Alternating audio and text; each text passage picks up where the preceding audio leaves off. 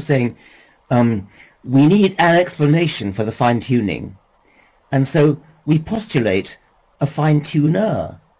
Um, but you haven't mm-hmm. explained anything. I mean, you've, you simply invented. Okay. You've magicked away the problem. And and this is this this has been one of your your, your key arguments in, in your book. Salam and peace. Welcome to Dawahdude. I hope uh, you will enjoy this clip today because uh, looks like it's a forced uh, conversion of the Richard Dawkins from atheism to theism. So let's play this uh, clip for you. Before I do that, please uh, subscribe and share, like, and leave a comment. Potentially pointing to a, a gap and, and filling well, it yes, with God? Is that your I mean, problem it, it, because with, it seems to me you, all you're doing is pushing it back a stage, and you've still got, got to explain God. Right. You're, you're, saying um, we need an explanation for the fine tuning, and so we postulate a fine tuner.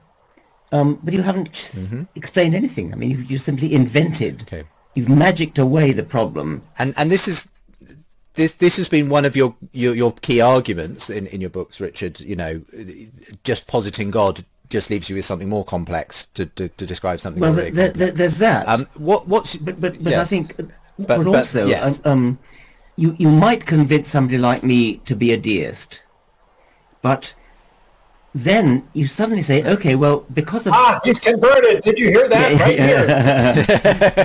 here? because, because of the fine tuning argument, but then suddenly, okay, then then we get Jesus Christ, and then we get crucifixion, then we get then we get we get resurrection, we get virgin birth. That's nothing to do with it.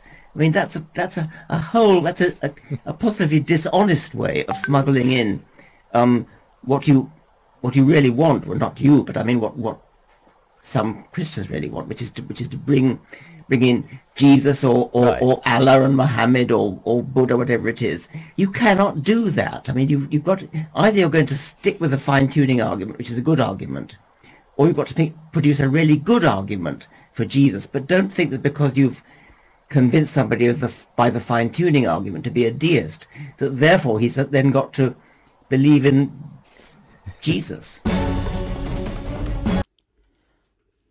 Looks like... Uh Richard Dawkins has no choice left for him. Either he has to believe uh, the explanation is uh, it's like a pink elephant, like he always told to the believers. So probably now he has to assume that there must be a cause for this fine tuning is the pink elephant. Or as a believer, he has to believe that the God is behind or God is the fine tuner or he's the designer. So this is the uh, result of this.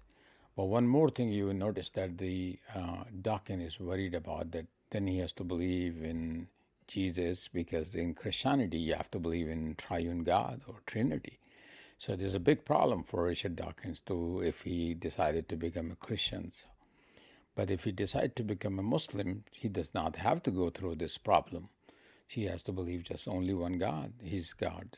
Allah is the creator of heaven and earth. He is the uncaused cause. He is the necessary being, and uh, that's the uh, that's the perfect uh, monotheism he has to believe. And this is, um, and at the same time, he, he can believe Jesus as a prophet and messenger. And just like Muhammad, peace be upon him, he's not God either. So God is only one.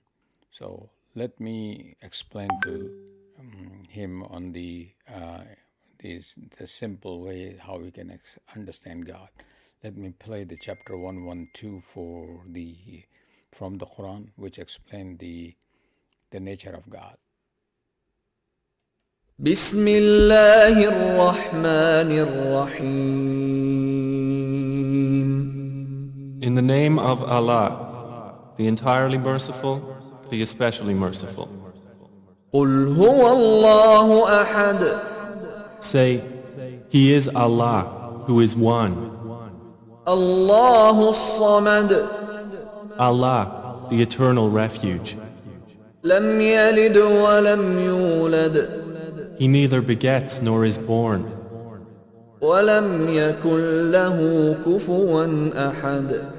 Nor is there to him any equivalent.